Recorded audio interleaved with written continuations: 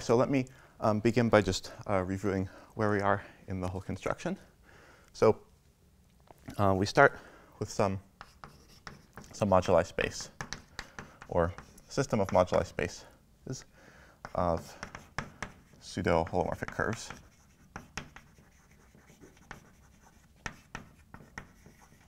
And then on this moduli space, or collection of moduli spaces, we construct some extra data, which call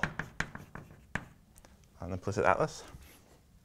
And then what we'd like to do is, um, from that implicit atlas, construct, um, construct the virtual fundamental cycle on the moduli space, or on the virtual fundamental cycles on the system of moduli spaces. Now, one um, one aspect of these, important aspect of these two arrows is that both are canonical.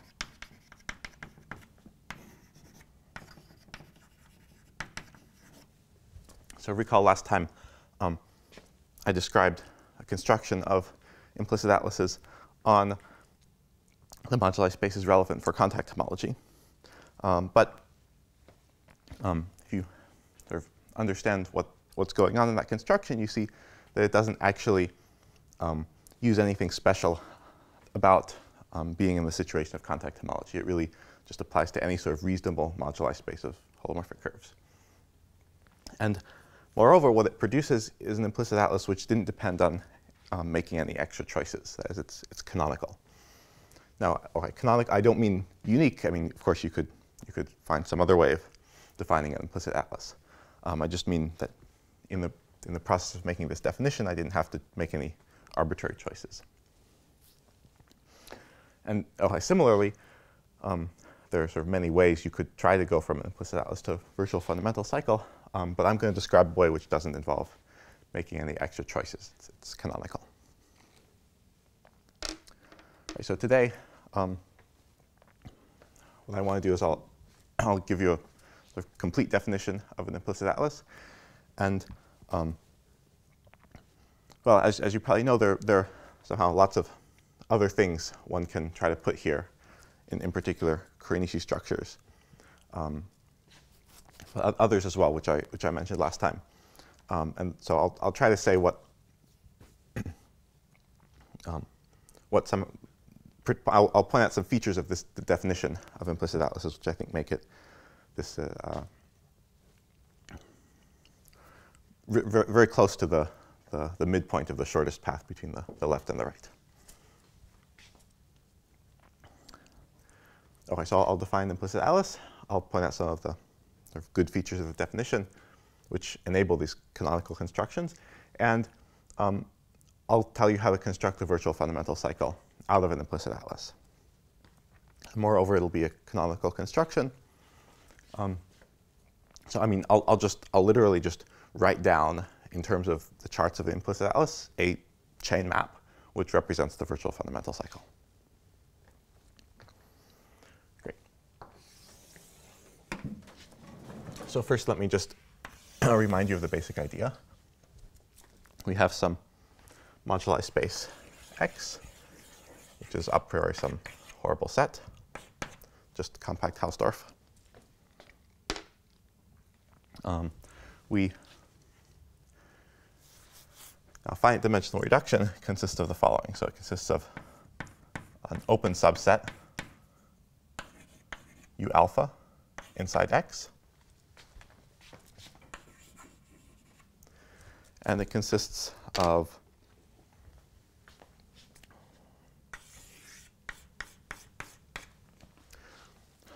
a chart, which I'll call x alpha and refer to as the thickened, the, the alpha thickened. Moduli space.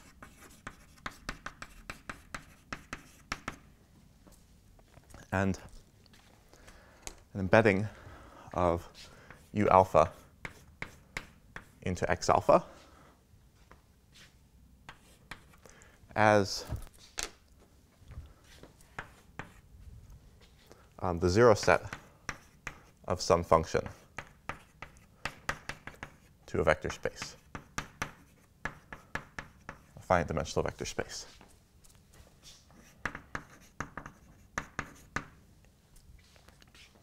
Um, right, so u alpha equals s alpha inverse of 0.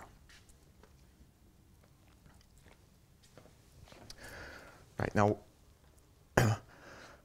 the reason um, we, we want to equip X with charts like this is because it tells they tell us what the virtual fundamental cycle should be. So, so um, namely, if you take, if say alpha, x alpha is a manifold, and you perturb s alpha to be transverse to 0, then its zero set um, is a manifold somehow lying close to x. And that manifold, at least locally over u alpha, represents the virtual fundamental cycle of x. And now the, um, the, the, the key problem where we have to solve in the second arrow is to figure out how to uh, glue together these local virtual fundamental cycles into a global virtual fundamental cycle over all of x, um, just, just, given these, this local data and certain um, local compatibilities between the data.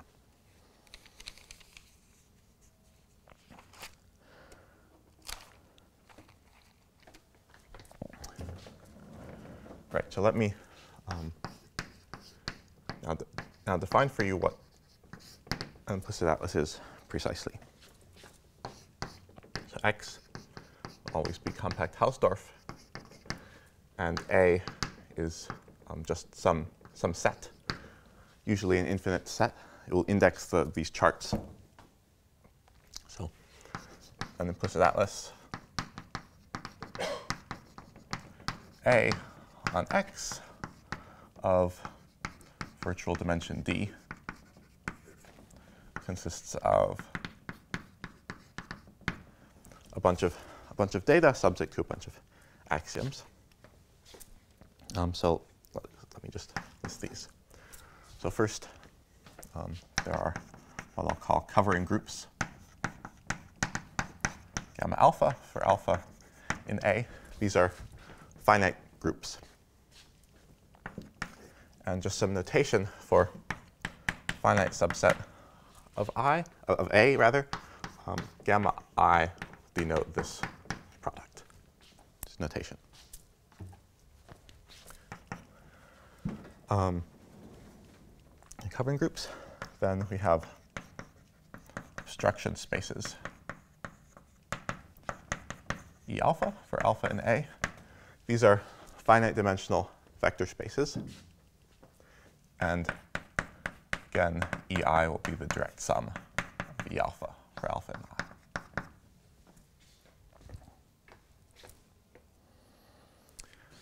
Um, so moreover, um, gamma alpha acts linearly on, on E alpha. So E alpha is a finite dimensional representation of gamma alpha. Thirdly, um, there are these thickened spaces, x sub i. These are just Hausdorff topological spaces for all um, for finite subsets of A. And um, the original moduli space X is identified with the thickening um, corresponding to the empty set. So there's going to be a bunch of data, and um, the only way it somehow interacts with with the, the space X we're interested in is through this identification.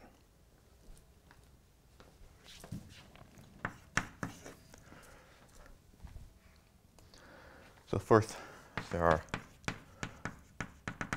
the Kuranishi maps.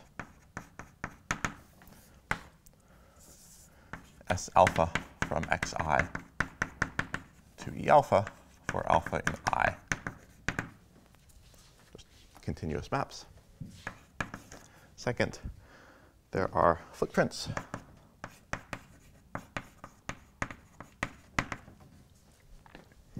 U, I, J contained in xi, open subsets, for i contained in J contained in A. Six, there are these um, footprint maps, Cij um, from the zero set of Sj minus i on xj to uij for that should be gamma j equivariant. Um, of course, gamma gamma i acts on this as a as a well, gamma i invariant open subset, and we just say gamma alpha for alpha in in j minus i acts trivially here. Right, so this is the footprint maps. Um, finally, last piece of data is the regular locus. So xi is some moduli space. Um, it's contrary to what I've drawn here. It's um, not necessarily everywhere cut out transversely. Um, so, so, so we have to mark so, gamma i invariant subset where it's where it's cut out transversely. Right, so there are going to be, there, there are a bunch of, sort of requirements for this data, but let me just pause and somehow relate it back to this picture to make sure we're all um, on the same page. So we have x. So suppose we have, let's do an example, implicit atlas with just a single chart. What does that mean? So we have space x. Well, that is the same as x empty set. There's a space x alpha. Is the thicket moduli space. Um, and there's a map from S alpha from X alpha to E alpha. So I'll, I'll, write X alpha, but I, maybe I should really sort of put brackets around alpha. I, I won't. Inside X alpha, there's this, this zero set, S alpha inverse of zero. And this footprint map identifies or gives a map from, from S alpha inverse of 0, it'll be an axiom which says it's, a, it's an isomorphism, onto some open set, which is U empty set alpha inside here, open. So this is exactly um, what, what, we had over here. Um, okay, I realize now I forgot to explain some notation. What is this? I only defined S alpha, so as, as before, um, Si will be the direct sum of S alpha for alpha in I. Now there's a little bit of ambiguity in this notation because um, there, there are many functions called, called S alpha um, because the, there are various possibilities for I here. And so, so that's why I have to specify the domain here. I, I take the direct sum of all the S alphas for alpha in J and not in I and look at the action of that on, on Xj. Right, so, so this is the picture I get when, when alpha is just a single, has just a single element, um, which is sort of more or less what I wrote, wrote over here. The difference is only here I required x alpha to be a manifold. Here, um, that, that, that requirement, we haven't seen that requirement yet, but it'll, it'll come later. Um, and finally, just the other thing to say is that oh, I'm, in this picture, I assumed gamma alpha is trivial, but of course, gamma alpha is non-trivial, there's a similar picture. We have actions here. Um, there's this map is, is equivariant, and um, now this is not an isomorphism, but just sort of a, a quotient map by gamma alpha. This is a gamma alpha covering.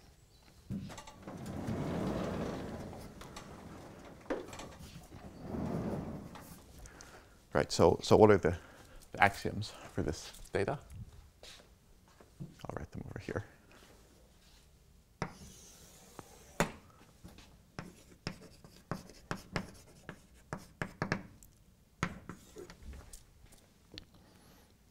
So there are lots of these um, axioms, but most of them, as you'll see, look rather tautological, and, and they are. So in, in any particular, for any, so, so first of all, there's just some universal construction of an implicit atlas on any reasonable moduli space of holomorphic curves. And, and when you do that construction, sort of all of the almost all of these axioms are trivial consequences of the definition. There's only a few that you really have to check carefully.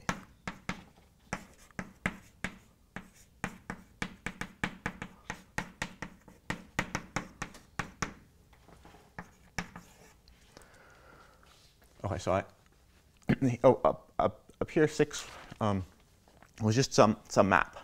Um, but now let me sort of be more, more precise. Um, we actually demand that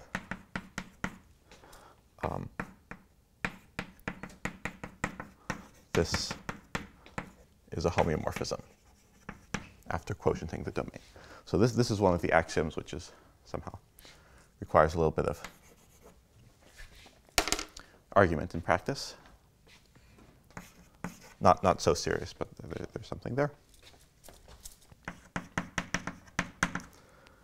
Vij xi reg is contained in xj reg 7. Um, gamma j minus i acts freely on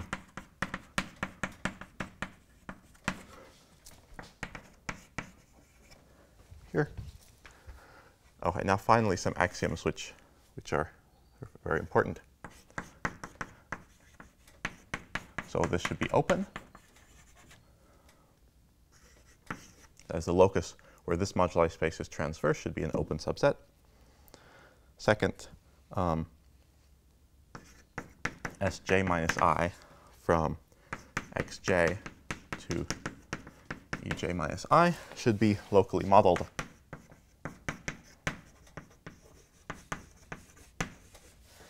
on this projection.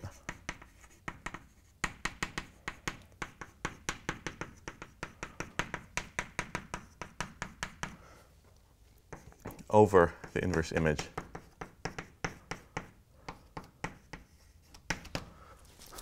of the regular locus. So in particular, what does this mean? If I take j equals i,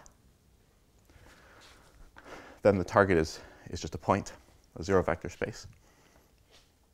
If I take j equals i, this tells me that the regular locus is a manifold of dimension d plus dmi. So let me just, just write this. So x implies, as a special case of axiom 9, xi reg is a manifold of dimension d plus dimension ei. Okay, and moreover, whenever I have um, some, say, x, xi and xj, and I have some point in xi which I, which I declare to be um, transverse, um, when you view that point as being cut out inside xj, the corresponding section by, the, by this section, this section is transverse over, over that locus, locally modeled on on this. Right, so, so here I'm only demanding um, a topological condition. This is locally modeled topologically here. This is a topological manifold of dimension d plus dimension ei. Um, what this, yeah, of course, there's there's a there's a an analogous definition, um, analogous notion of an implicit atlas with a smooth structure. You could require things to be smooth. Um, uh, what I, the, the point here though is that for this second arrow, we don't need a smooth structure. I'm going to give a definition of the VFC via some algebraic topology, and it won't actually use any smooth structure on these thickened transverse moduli spaces. And uh, this first arrow is easier if we don't um, have to construct a smooth structure on, on these spaces.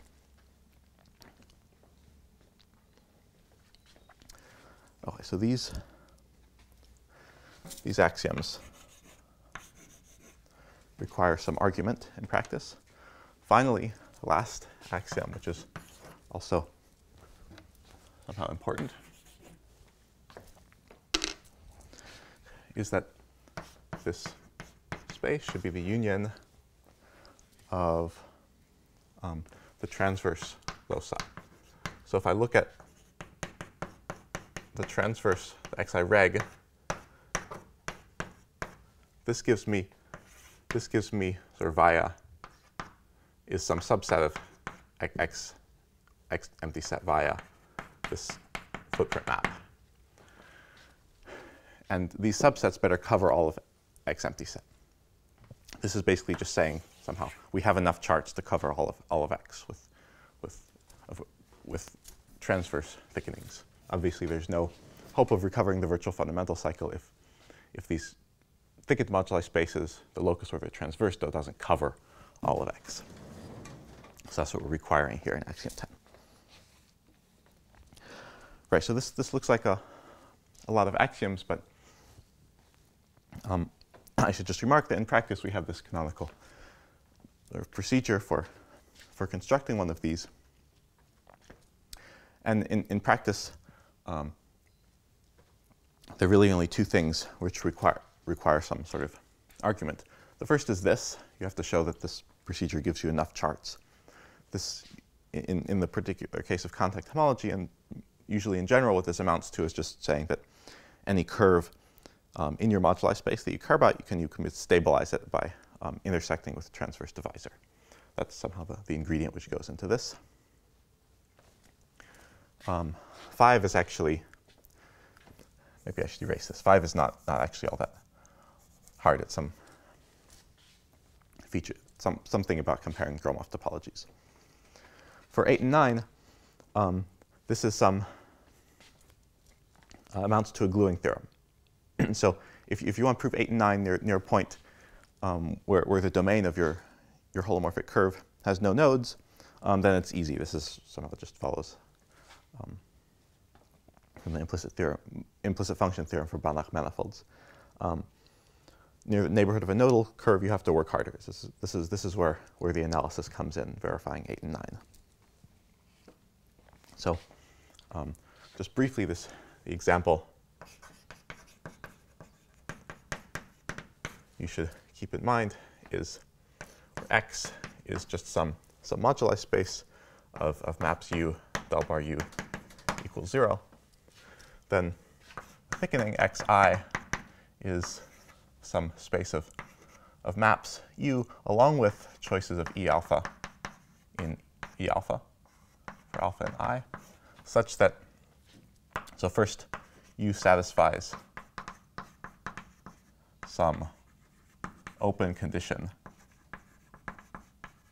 depending on alpha for all alpha in i, and del bar u plus e alpha equals 0.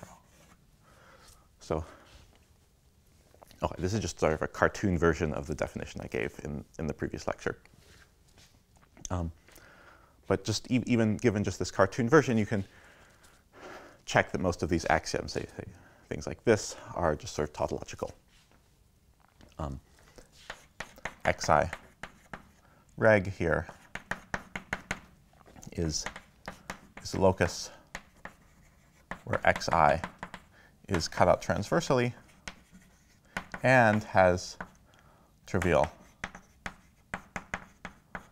isotropy. That is the, the automorphism group of, of the, the, particular curve with whatever marking um, we've chosen in addition here is, is trivial.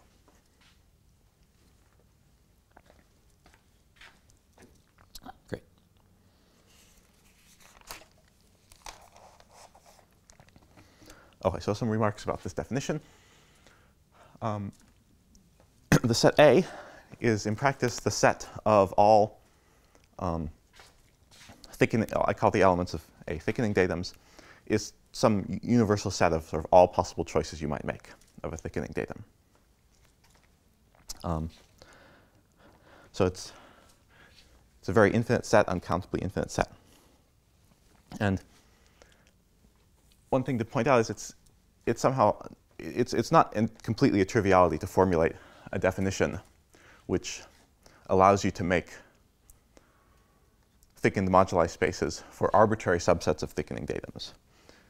Remember, if, if, if, X, if A is the set of all thickening datums, somehow I could, I, I'm, I'm demanding here that I have, I can construct these thickened moduli spaces even when I pick two thickening datums which are sort of very badly non-transverse to each other, intersecting simultaneously with two divisors which are, which are not transverse to each other.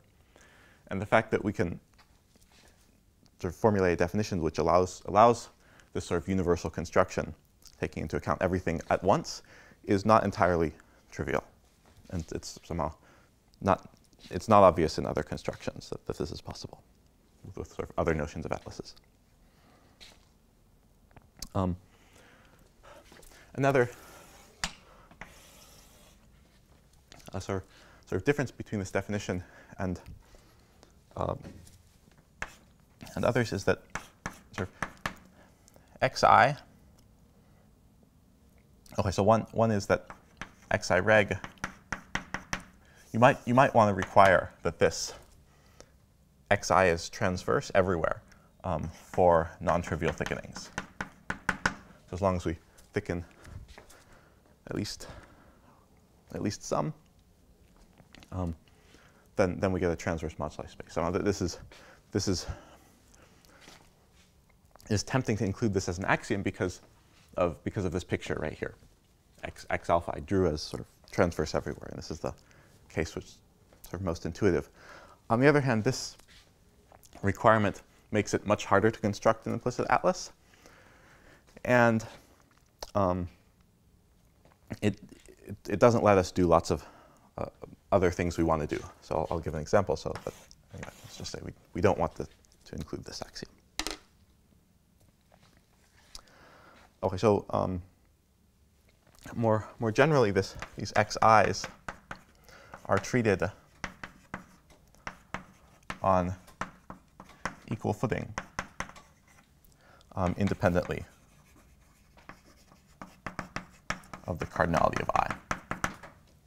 So in other definitions of um, similar to this one, um, you have one sort of formalism for how X empty set is cut out inside X alpha. And you have another formalism for how Xi is cut out inside Xj when Xi is non-empty. Um, and this somehow leads to sort of duplication of the axioms that you have to check.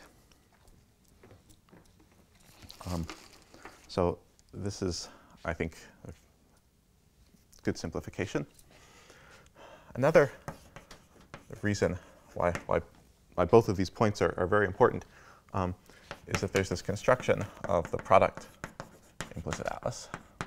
So if I have space X with an implicit atlas A, space Y with an implicit atlas B, I can construct an implicit atlas on the product with index set A disjoint union B. Um, namely, the thickened moduli space x cross y thickened by i and i prime is just the product of the thickened moduli spaces. And the regular locus, well, there's sort of only one reasonable poss possibility. It's xi reg cross yi prime reg. Okay, and now we, we see immediately that um, this, this construction, um, even, even if you started with implicit atlases satisfying this property, the, the product doesn't necessarily satisfy this property because one of, because I, I disjoint union I prime could be non-empty, but one of I or I prime could be empty. Um, it's also clear that this, this somehow completely, completely fails if, if we don't treat xi's on equal footing for x empty and non-empty. Um, yeah. So some people find this notation quite strange. They use the same notation for the moduli space and the thickened moduli spaces, but I think this is a good justification for why. I think that's natural notation in, the, in this particular setting. Right. Okay, so finally, um, this is the definition for um, somehow moduli spaces without boundary. Right, I, I require the thickenings to be manifolds. Of course, there's a natural um, natural generalization of this implicit implicit Atlas with boundary. If you have a, a, space X with a closed subset known as its boundary, um, or just called its boundary, there's a notion of an implicit atlas on this space, which sort of just consists of thickenings. Inside each thickening, we, we um, specify a closed subset. And, and then all of the axioms are the same, except um, the local model we allow is now, we now allow sort of manifolds with boundary as, as a local model. Um, and in the local model, the, somehow the, the boundary of xi reg as a manifold with boundary should coincide with this subset that we declared to be its boundary. And you can do the same thing with more general stratifications. Just, just a matter of requiring that the stratification be compatible with the footprint maps and um, specifying the right local model that you want. Great. So yeah, so last time I, I constructed implicit atlases like this on the moduli spaces for contact homology.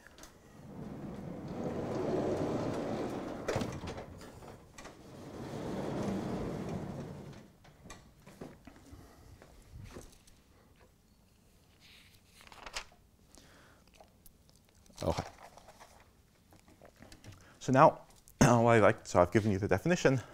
Last time I gave you the construction. Now I want to give you the construction of the virtual fundamental cycle.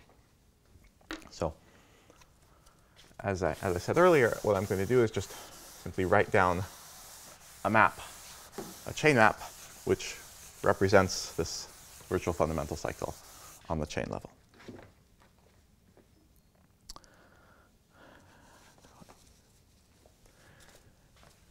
And um, this, this construction will be, um, will be canonical. In particular, it's, it's functorial with respect to um, inclusions of boundary, inclusions of other strata um, in, in, in um, implicit atlases. And it, as a result, it'll work well um, uh, for Floer hom homological theories where we really need a, a, theory of somehow coherent virtual fundamental cycles over a, a collection of many open sets, of many um, moduli spaces.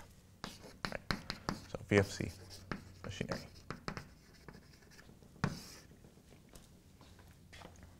So X will be a compact Hausdorff space, and A will be implicit Atlas on X. I'm going to assume for convenience that, that A is, is finite right now. This is mostly for notational convenience. Um, everything I'm saying sort of works for works for infinite A simply by sort of taking a direct limit over, over finite subsets. Um, so this isn't a, a big assumption. Plus, I mean, choosing a finite subset of, of a given atlas isn't very much, um, isn't very much of a choice.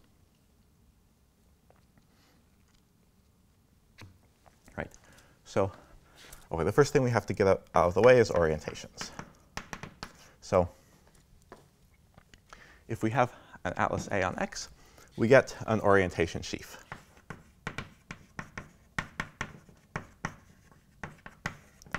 OX on X. Uh, it, it, depends, of course, crucially on A. I won't, I won't write that dependence here. Its stalk at a given point P in X is given as follows. So we choose a lift P tilde in Xi reg. And then the stalk at a particular point is, O, sort of the orientation sheaf of xi reg. Remember, that's a manifold, so it has a well-defined orientation sheaf. St stalk at p tilde tensored with um, the orientation module of EI dual. Finally, we take invariance under the, the stabilizer of p tilde under the action of gamma i. So we say this atlas is locally orientable if and only if this invariance is always um, non-zero. Oh, so our, our orientation modules of are always isomorphic to z. So, uh, right, the orientation module of a vector space is a, a free z module of, of rank 1. Um, and choosing a generator of that copy of z is equivalent to choosing orientation on that vector space. So that, that's what orientation modules are.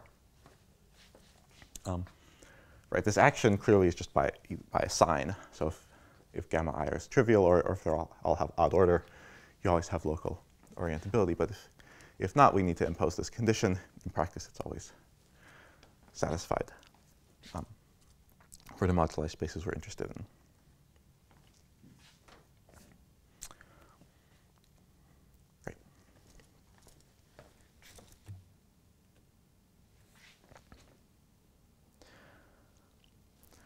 Okay, so, so henceforth we'll just have this as an assumption that x is locally orientable.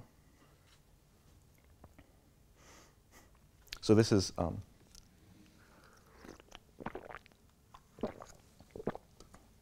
this is just a local system on x. um,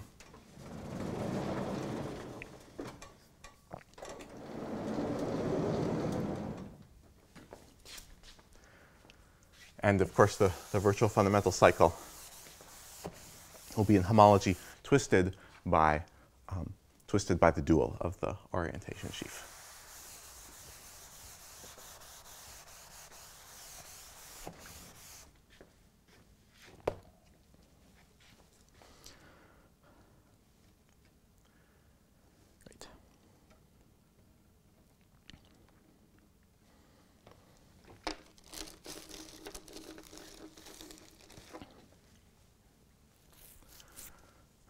So what's, what's the goal of this VFC machinery? Well, it will be to, to define the, the following structure. Actually, maybe I'll, maybe I'll write it here. So this is the VFC machinery will consist of the following. So we will define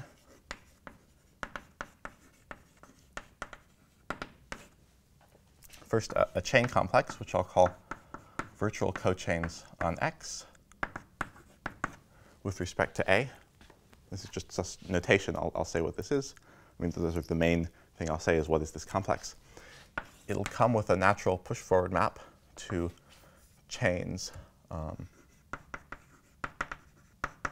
on the Thom space of E.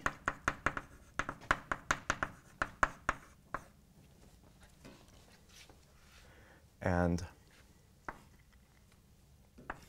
it will be canonically quasi-isomorphic to Čech cochains on X.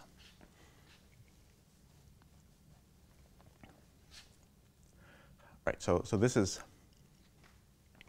what we'll construct. Okay, after making this definition on orientations, now I'm going to sort of leave orientations out of the notation. But really, I should twist this by the dual of the orientation sheaf of E and I should, I should have a, this should have co local coefficients in the orientation sheaf. Um, but for simplicity of notation, let me, let me leave this off. So this is what we define. Why is this the virtual fundamental cycle? So this chain complex is very easy to understand. It's the Thom space of EA, but this is just, EA is a finite dimensional vector space. Um, this is a sphere, and so this is just concentrated in degree d. So z concentrated in degree d. And what we have, sort of up to quasi-isomorphism, is a map here. So i.e. What, what we have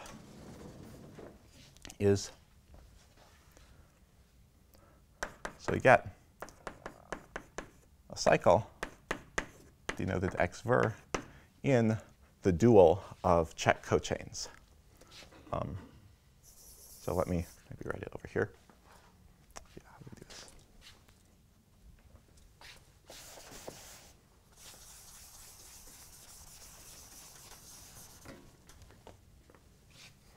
So this is z in degree d.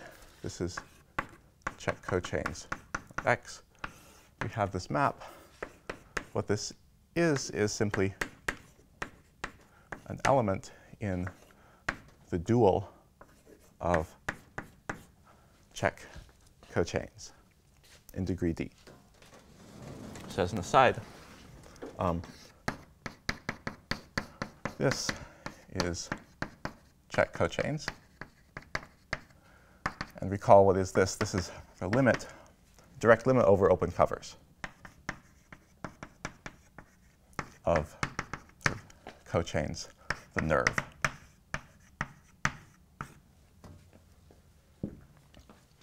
Now, what is the chain level dual of this? Denote the chain level dual by um, C upper bar, and it's called Steenrod chains. This is used much less than Čech cochains, and I'll spend most of most of the um, construction just in the in the Čech world. Um, but it's somehow the final answer can be understood this way. Steenrod chains is um, well, it's the dual of Čech cochains, which is the same as a derived inverse limit over open covers of the homology of the nerve. So this is somehow the, the right way of doing homology in the Čech sense. I mean, you can, you can also take the homology of, of, the, of the nerve and take just the usual inverse limit of the homology of the nerve. Um, you get something called Čech homology, but it's, it's, not, a, it's not a sort of good object to consider. This is better.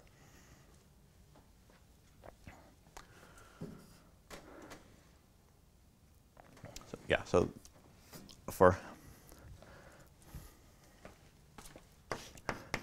probably wondering why we have to use all these exotic homology and cohomology theories. Well, so the, sorry, ex exotic is not meant in the technical sense. I just mean it's, yeah.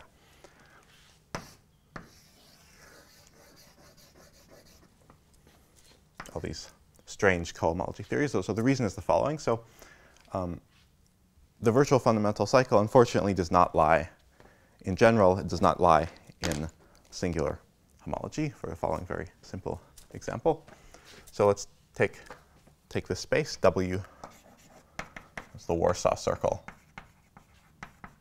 So it's cut out inside R2 by a function which is 0 on the inside. Um, and sort of, sorry, negative on the inside, positive on the outside, S from R2 to R. Now clearly, um, the virtual fundamental cycle of the space should be non-trivial. It sort of goes around the annulus, goes around the loop. If you push it forward to a regular neighborhood, which is homeomorphic to an annulus, then you get something non-zero. Unfortunately, H1W singular homology is zero. So virtual fundamental cycle will never lie in, in, in, in, in usual homology. Um, but Steenrod H1 is, is indeed Z. It's as, as you think. They're generated by going around the loop. Right, so, so now our goal now is to, is to define this object and to define this diagram.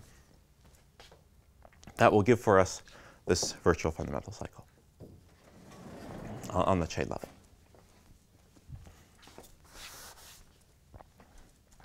Right, so let me, um, let me first just say, um, how do we do this uh, for a single chart? That, that's already um, not obvious.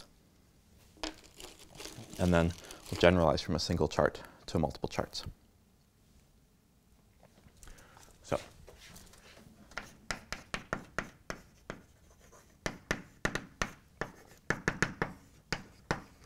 a single chart. So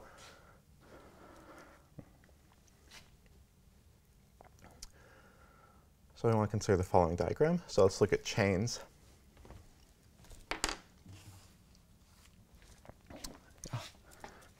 right, so re recall that um, the dimension of x alpha reg is d plus the dimension of e alpha, where d is the virtual dimension. So now we have chains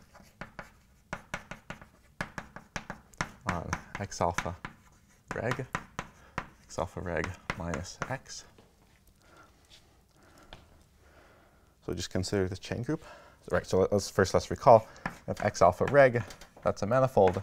We have a map to E alpha, and X is simply the zero set of this map. This is a global finite dimensional reduction. So I just want to say how, how this works in, this, in the global case first. We'll assume that X alpha is um, cut out transversely everywhere. So now, now there's a push forward map, S alpha push forward, going to chains on E alpha relative to 0, the Thom space of E alpha, which, as we said before, is quasi-isomorphic to Z in degree D. And, right, now by Poincare duality, there's a quasi-isomorphism between this and Čech, um, Čech cochains on X.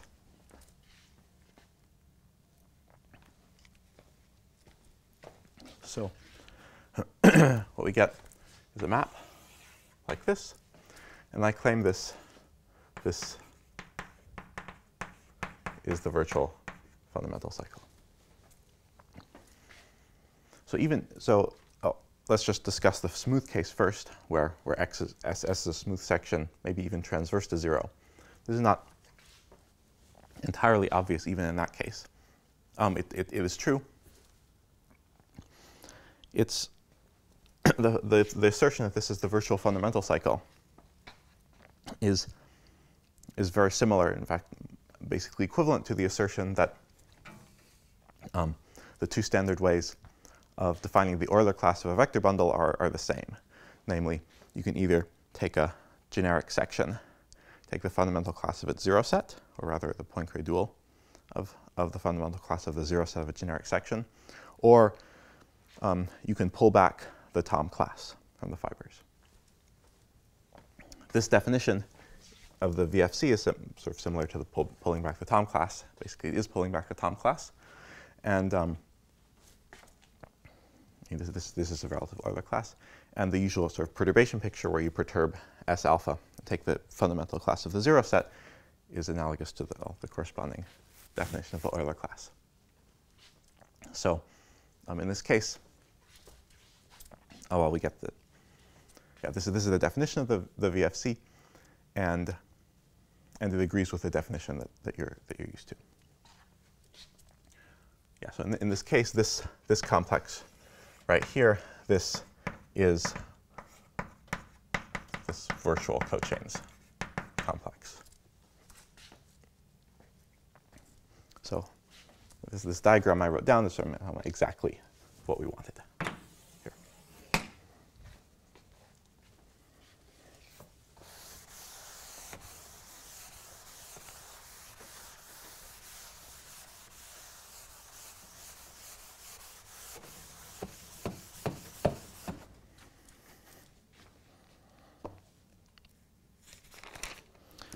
So now let me say how to generalize this to multiple charts. So again, let me just do this very explicitly in a single case of, of, of two charts and, and an overlap chart. Um, although, although somehow what, I, what, what we do for this will somehow say exhibit all of the complexities necessary to deal with the general case. Okay, so first let me try to draw one of these things. So here's our, our space X.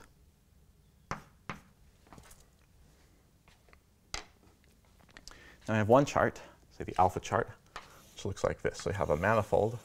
So again, I'm going to assume um, that all the non-trivial thickenings are just regular everywhere.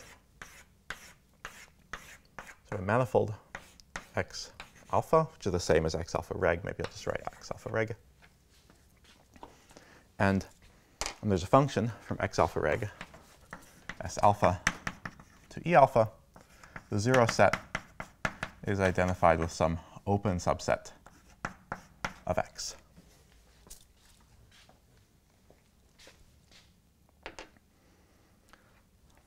So that's one chart. it's the same as what happened over here, except it just, just takes place over some open piece of X. Now I have a, a sort of similar thing happening on another piece of X. This is X beta reg. And then we have exactly the same um, situation. There's a map S beta to E beta, and S beta inverse of 0 is U beta inside X, and X is covered by U alpha and U beta.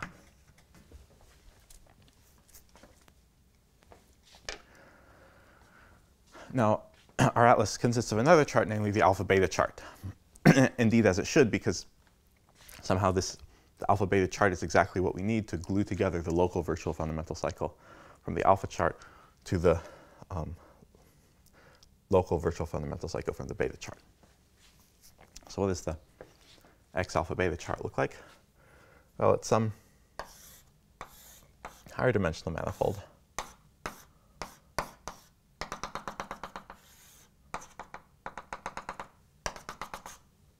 Looking something like this x alpha beta. It has two functions, s alpha to e alpha and s beta to e beta.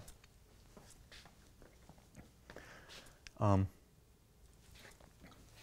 if I look at just the zero set of S alpha, that gives me an open subset of the X beta chart. I look at the zero set of S beta, gives me an open subset of the X alpha chart. Um, these are both cut out transversely. So on X alpha beta, I have two sections. Both of them are transverse to zero. S alpha cuts out X beta, or rather open subset thereof. S beta cuts out X alpha, open subset thereof. now these, now if I look at S alpha direct sum, S beta, this is now an open subset of X, namely the, the footprint of, of, this X alpha beta chart is the, exactly the intersection of the footprints of the alpha chart and the beta chart. And that's not necessarily transverse. So S alpha and S beta cut out transverse submanifolds, but these submanifolds don't necessarily intersect transversely their intersection is exactly x. Or again, rather the, this open subset of x. Right, so, th so this is the picture. So now let me say how, how do we want to glue together um, the virtual fundamental cycles. Right, so the first try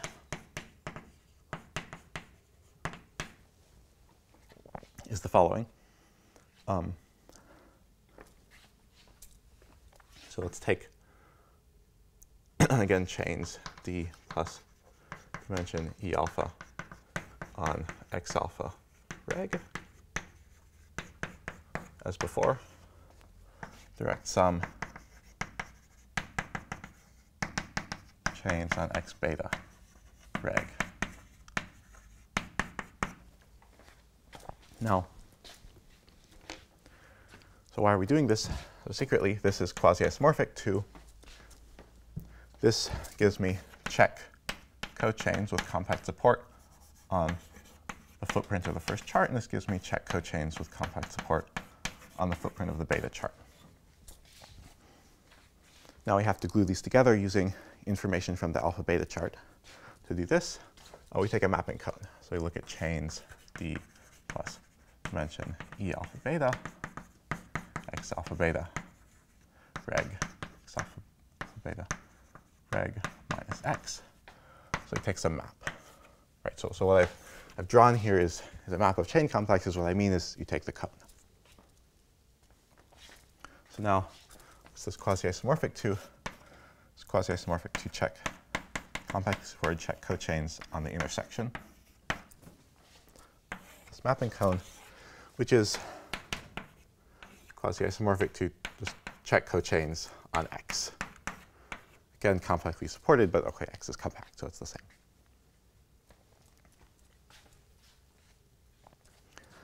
So this looks very good um, as a replacement for this complex. Unfortunately, um, defining this map on the chain level is rather cumbersome. Um, so sort of formally, what, or intuitively, what's this map? It should be a cap product with, a, with, with uh, say this map is cap product with S beta pullback a Thom class. Um, but somehow ma making this on the, on the chain level is, making it work on the chain level is possible, but it, it, it leads to a mess.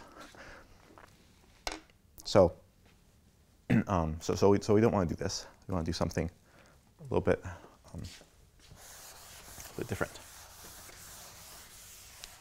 All right, so the problem with, with this construction basically is that the, the dimensions differ um, between these two between these charts. So um, to fix that, let's just take the alpha chart and cross it with.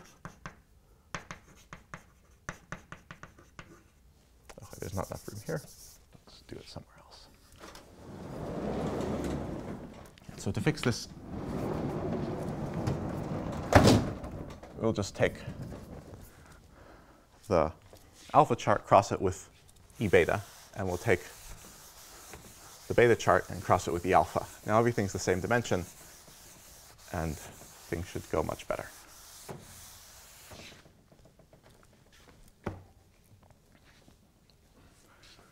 So, right, so, so we're continuing this example. So virtual cochains will be defined as follows. Let's start sufficiently to far to the right. Chains d plus dimension e alpha beta on, so we take x alpha cross the e beta chart, and then we take the complement of x cross 0. The right complement like this. And we also want chains on E alpha cross x beta relative to the complement of 0 cross x. Okay, I'm leaving room for, for something in the middle, which we'll use to glue them together. So how do we glue them together? We're going to do a deformation to the normal cone. So let y alpha beta be the following space. We look at x in x alpha beta, e alpha in e alpha, e beta in e beta, and t in 0, 1, such that s alpha of x is t e alpha, s beta of x is 1 minus t e beta. So this space has a natural map to 0, 1. I think of it as a family of spaces over 0, 1. So to understand what it is, let me just tell you what the fibers are. So if t is strictly between 0 and 1, um, and then you can divide by t, and you can divide by 1 minus t. You include the e alpha and e beta are determined uniquely by x. So for t between 0 and 1, the, the fiber is just x alpha beta. For t equals 0, you can still divide here. But now this equation says that S alpha must be 0, and E alpha can be anything. So I get E alpha cross the 0 set of S alpha, which is the beta chart, or rather an open subset of the beta chart. Similarly, for t equals 1, I get U alpha alpha beta cross E beta. So why is so this is called a deformation to the normal cone. And so why is that?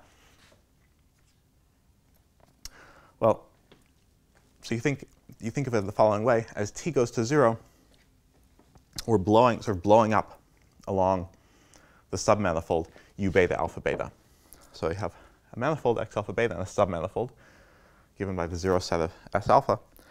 And as t goes to 0, we blow up along in the normal direction so that when we actually get to t, t equals 0, all that's left is the total space of the normal bundle. Um, this is so this is the, the motivation for this construction is that um, we'd somehow like to pick a tubular neighborhood, but there's no canonical choice. However, there is a canonical deformation. There's a canonical deformation from x alpha beta to the, to the total space of the normal bundle. And this didn't require us to choose a tubular neighborhood. And so yeah, instead of choosing a map from the tubular neighborhood, we um, defined a family and, containing both. Right, so how, how do we use this space? So now we'll look at y alpha beta relative to the complement of x cross 0 cross 0 cross 0, 1 complement. And now we'll glue together again using a mapping cone construction. So I use say, u alpha alpha beta cross u beta, the complement of x cross 0. So this maps in here just by inclusion.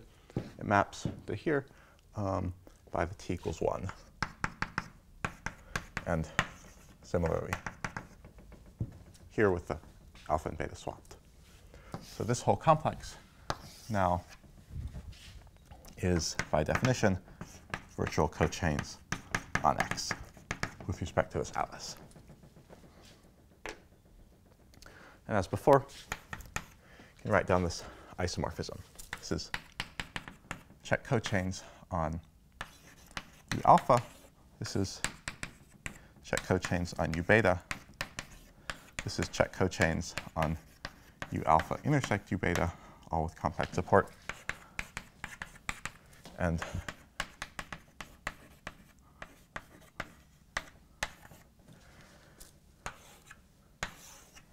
we get this. This is quasi-isomorphic to Čech cochains on X. So I'll say a little bit more about how to make this quasi-isomorphism um, precise um, very soon. Right, so I, I defined now the, the virtual cochain complex. There's a canonical push forward map from this to chains on the Thom space of E alpha beta Namely, we just take the there's an ob obvious push forward map on all these spaces and the degrees um, and the inclusions of these. Um, so we just take that push forward map here and zero here. That gives us this map.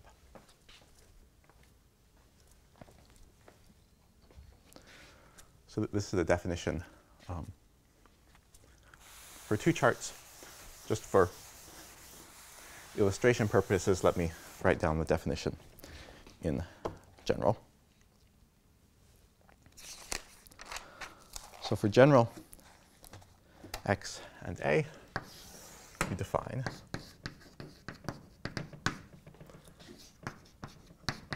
virtual cochains on x with respect to a is the following. So direct sum over p, direct sum over chains of finite subsets of A of chains of dimension minus P plus D plus dimension EA of the set E in EA, T in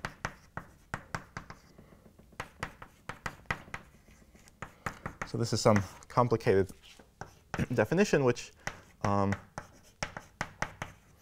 is a natural generalization of, of what I wrote up before. Just the only thing you have to do is sort of figure out how to organize everything when you have um, many charts.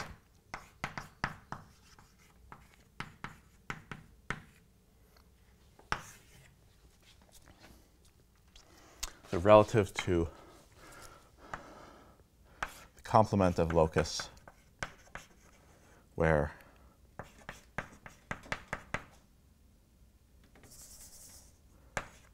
equals 0. All right, so here's the definition. Um, yeah. So this is some rather complicated chain complex. Um, what, what, uh, what you gain here, though, is that th this definition of the virtual fundamental cycle, well, one is functorial, it didn't require any choices. And second, it works um, without having a smooth structure on the thickened moduli spaces. And since we are just using algebraic topology to, to define things. The other remark is that this is somehow sort of homotopy colimit of chain complexes. So what, what's the deal with homotopy colimits? Well, so a, a, lot of times when you want to try to define the virtual fundamental cycle, you, you take some big disjoint union of the thickened moduli spaces, maybe the, the regular loci, you divide by some equivalence relation. Now this is a very, sort of modding out the equivalence relation here is a very drastic thing to do because, because they're, they're sort of simple questions or about this topological space. Um, very sort of basic properties which, which are sort of require a certain amount of work to verify and, and to ensure. I mean, some, in some cases they just are, not true if you do this for certain atlases that might fail to be Hausdorff or metrizable. Uh, so, so this is an example of a colimit. Just sort of glue things together naively. Um, if you if sort of if you instead do sort of homotopy gluing by taking a homotopy colimit, sort of automatically has good properties.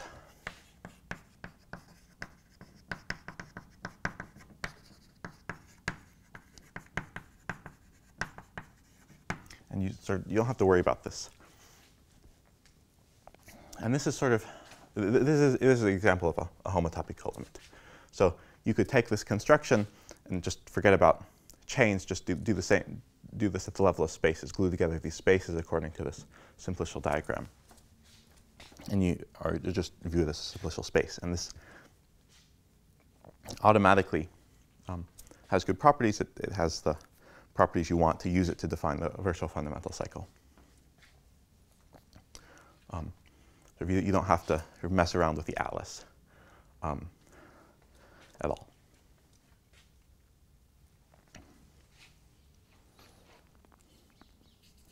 Okay, so just maybe as aside, let me just give a basic example of this difference. If you have some say, two spaces, x and y, and you have a common subspace. Between them, you can take sort of the disjoint union of x and y modulo this equivalence relation which identifies them. Say, op say open subspace. Of course, when you do this, you can get a horrible, sub horrible topological spaces like line with doubled origin, things like this. So this is sort of the naive colimit. Homotopy colimit, which is better to take x union y union u cross an interval and say that sort of u in x is equivalent to like u cross 0, and u in y is equivalent to u cross 1. So that is, I, I take the u cross 0, glue that to x, take u cross 1, glue that to y. And, and now this is a much, much better space to work with.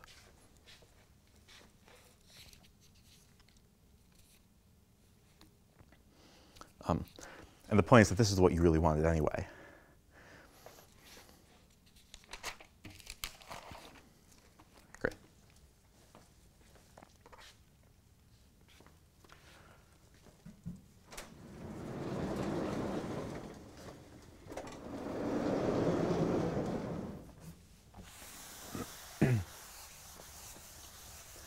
So I defined this virtual fundamental cycle on the chain level just some, some canonical construction. One thing which I didn't explain, which I want to explain now, is how do we show the isomorphism between this, the quasi-isomorphism between this complex and Čech cochains on X. This is, um, I gave a sketch of sort of why it should be true morally using Poincare duality, but now, now let me say in, in more detail how, how this actually goes. So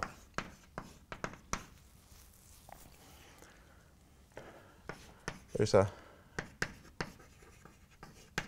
everybody knows what a sheaf is on open sets. Um, for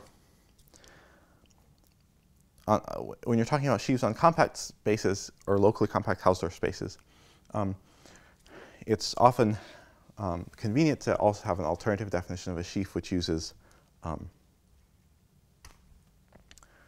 which uses open sets instead, uh, which uses closed sets instead. Right, so, so we say a functor, a K-sheaf is a functor f from compact subsets of X to abelian groups such that following axioms are satisfied. So f of empty set is 0, f of union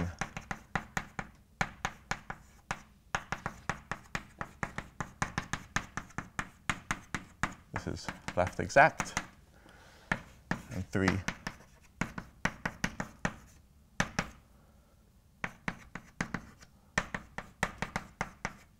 This is an isomorphism. So there's a so that now you get this category of k sheaves on X, and it's uh, it's equivalent to the usual category of sheaves on X. Um, namely, if you just have a K-sheaf, you send the corresponding sheaf is like, take the inverse limit over u, and if you have a sheaf, to get sheaf on compact sets, you um, you take the direct limit over uh, yeah open neighborhoods. So that's the correspondence. Now there's something called a homotopy sheaf, which, which I'll only define in, the, in sort of a K setting. So a homotopy K sheaf is a functor f from compact subsets of X to chain complexes following properties. So first, f of empty set is acyclic. F of K1 union K2, F of K1, F of K2 to F of K1 intersect K2 is exact, mean, meaning the total complex is acyclic. And this limit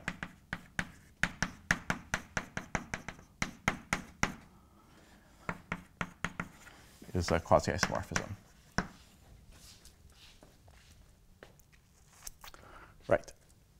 so this is a homotopy K-sheaf should be thought of as a complex of sheaves which calculates its own cohomology. So for example, um, any complex of soft sheaves is a homotopy sheaf. So a sheaf is called soft if and only if all of the restriction maps for, on compact sets are surjective. So another example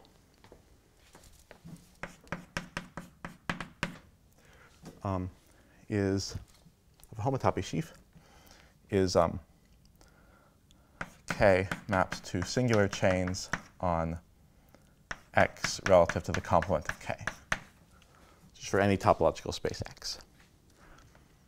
this axiom is, is, obvious. This axiom amounts to Mayer-Vietoris. Um, and this is some compactness of simplices.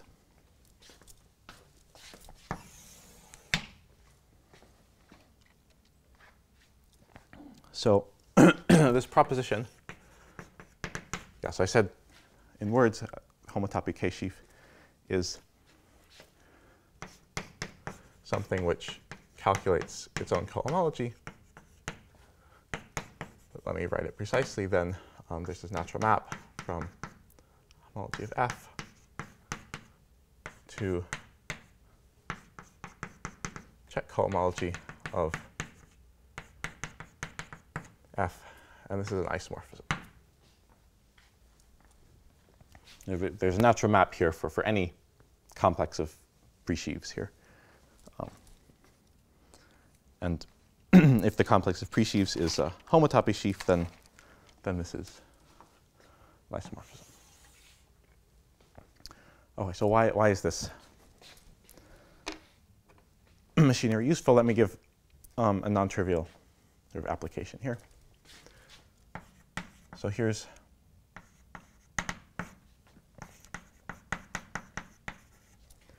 here's what we're really interested in. So suppose F uh, is homotopy K-sheaf is pure, i.e. Um, the homology of the stocks is um, is concentrated in degree zero and the cohomology on any compact set vanishes for i sufficiently negative. So, so one is somehow the key condition, two is technical and, and might not be even needed. I don't know. So then, 1 H0F is a sheaf, and 2 um, the homology of F is naturally canonically isomorphic to the Čech cohomology of that sheaf. Right, so, so given, given this proposition, what, I'm, what this is really just saying is that if F is pure, then it's a sheaf, a resolution, a quasi-isomorphic to a sheaf. So it should be, F should be thought of as a, a resolution or an injective resolution of some underlying sheaf H0. So this all looks very abstract, but um, here's an example. It's really the main example we care about. So let M be a topological manifold of dimension n, then you look at K maps to chains on M relative to the complement of K. And this is a homotopy K sheaf, as I remarked uh, before. And now using the fact that M is a manifold, it's, we, can, we can show that it's pure. Um, this is just the standard calculation of the homology of Rn with respect to the complement of a point. And now, so th thus by, by this, this lemma, we conclude that the homology of this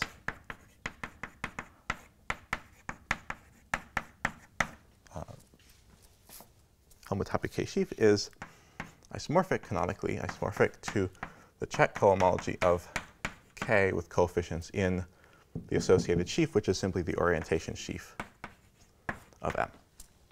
So this is Poincare duality for arbitrary closed well, compact subsets of a topological manifold.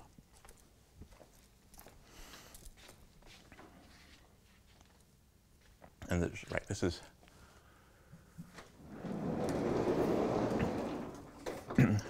this is clearly an, a, a, a non-trivial, interesting statement. So this, this is how, how this machinery is, is useful. Now, how is this relevant for this? Well, there's a natural extension of this virtual cochains complex to, to be um, the, the, global sections of a homotopy K-sheaf on X. Namely, you simply require here, you basically do the anal analog here, instead of taking the complement, this is sort of the complement of all at X, um, if you want to say, say what, what are sections over an open subset, a closed subset K, you take the complement of where the, the X lies in K. And now this is a homotopy K-sheaf, um, and you can check that it's pure. And this gives you the, the identification you want of this with Čech cochains on X.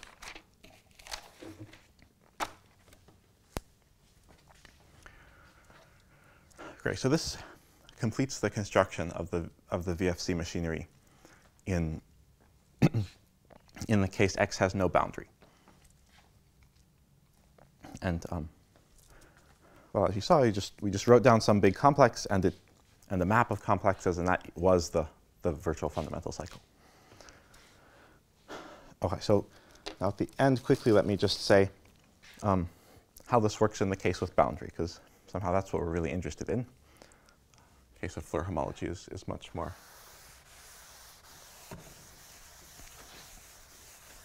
uh, much more interesting. so first, so with boundary.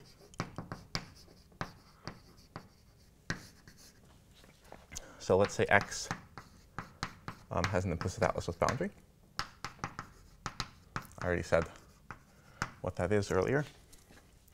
In particular, you get an implicit atlas on implicit atlas without boundary on on the um, on the boundary of x. So now, our earlier construction, the construction, the definition I just erased. Um, it does not give something which deserves to be called virtual cochains on X it deserves to, it gives something which deserves to be called virtual cochains on X rel the boundary.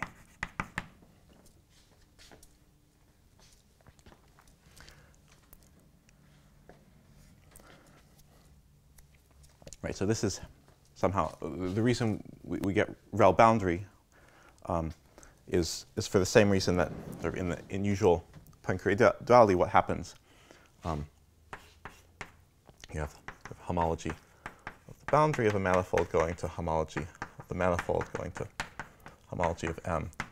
Rel the boundary. This is isomorphic by Poincare duality to cohomology of M. This is isomorphic to cohomology of M. Rel the boundary. And then so there's this restriction map, Hn minus star of the boundary. And this corresponds to um, the connecting homomorphism here. The Connecting homomorphism corresponds to um, this just restriction on cohomology. And the push forward map here corresponds to uh, the co-boundary map on cohomology.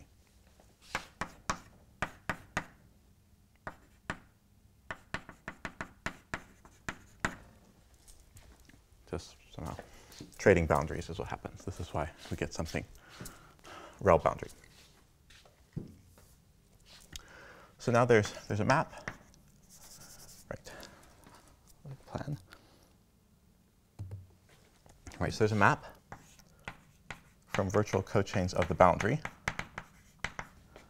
to virtual cochains of X. Draw the boundary, and the fact that um, increases degree by 1.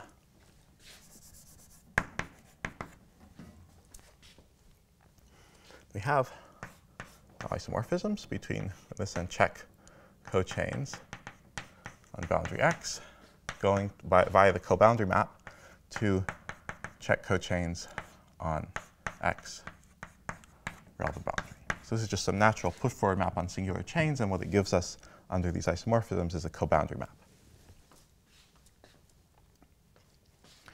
Now we have maps from this to z in degree d. This diagram commutes just simply, basically by, by construction. This diagram commutes by construction. This is some non-trivial statement which you prove using the sheaf theoretic machinery, which is used to define these the vertical isomorphisms. Um, so what does this tell you?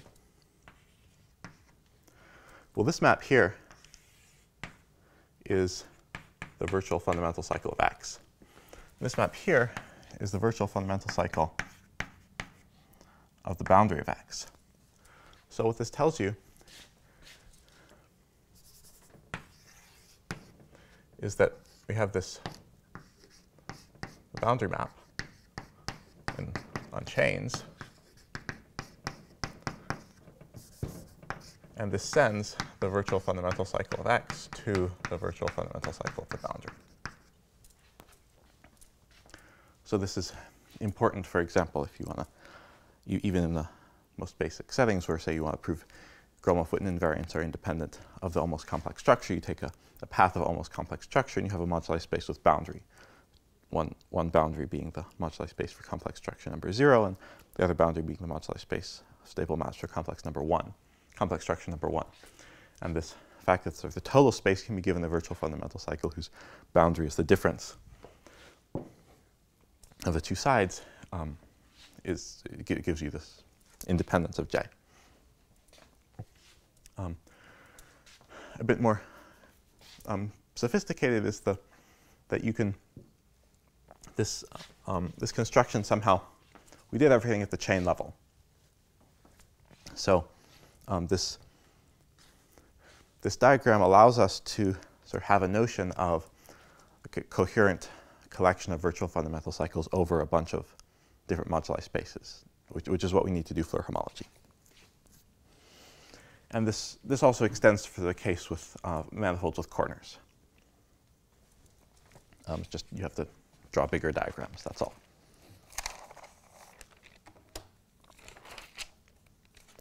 Right, so, so finally let me um, just say there's, there's also, there's also um, a product map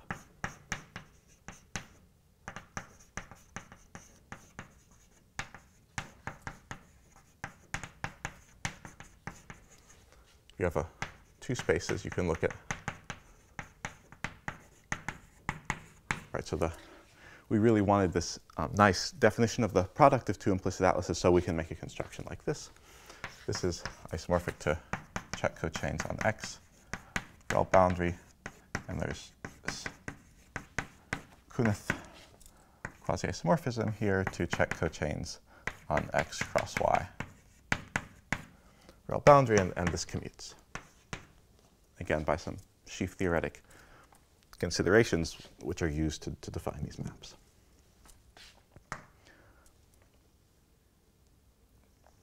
Right, so in the sort of this sort of compatibility of virtual fundamental cycles with products, what this gives you is right x times y for is x for times y for this compatibility on the chain level with products um, is also crucial for, for Floer homology um, because you want to be able to say that the virtual fundamental cycle of the boundary of the you, right the boundary of a moduli space is is expressed as a product of other moduli spaces. You want to say the virtual fundamental cycle of that boundary is the product of those virtual fundamental cycles on the chain level.